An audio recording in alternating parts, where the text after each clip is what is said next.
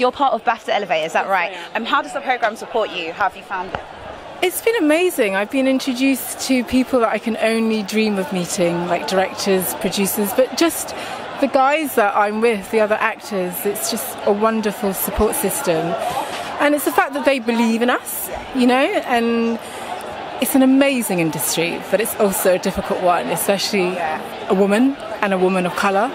So it's just good to be making a pathway in an industry that might not naturally have the pathway. Yeah. Does that, yeah. That's right. And then how do you think awards such as obviously there's the BAFTA Elevate program, but how do you think things like this can further support um, diversity within the industry, or in celebrating diversity within the industry? This this program yeah. by just exposing us by saying, look, here are these guys, 21 actors all from different backgrounds. We've, you know, we've been raised all very differently, but we all have stories to tell, and it's those flavours that we can add to characters and roles, and and it's also making people create those roles. It's opportunity. That's the issue. Sometimes it's just not enough parts are out there that are the lead parts.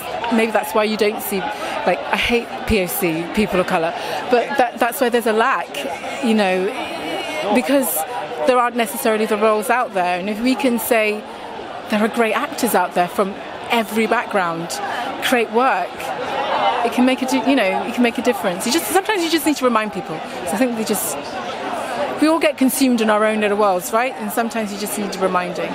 Thank you. And how are you feeling about tonight? Also, um, one of your co-stars, so Top Boy, you've got Micheal Ward up for Rising Star. My friends as well. We've got the same agent, oh. so I adore, I adore Micheal. So yeah, I've just seen him just now, and I'm rooting for him. I voted. I voted for him because I read it too. it's not not just. I think they're all fantastic that have been nominated, but I think he's he's brilliant, and I know him, so I'm going to vote for him. So I'm excited to see him on that list, and I'm just excited to be here and to celebrate with BAFTA elevators and my peers, like, and you guys.